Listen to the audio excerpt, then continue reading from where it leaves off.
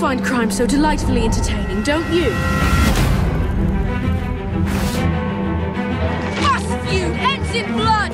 What happened here? Seems several people have gone missing in this part of town. The guilty always get caught.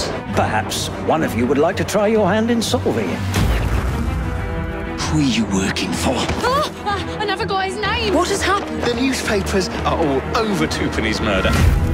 Use your powers to peer more deeply and see what you can discover.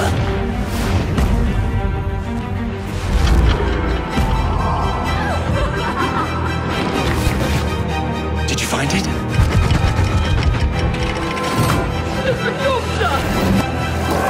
Oh dear. It's going very badly, isn't it?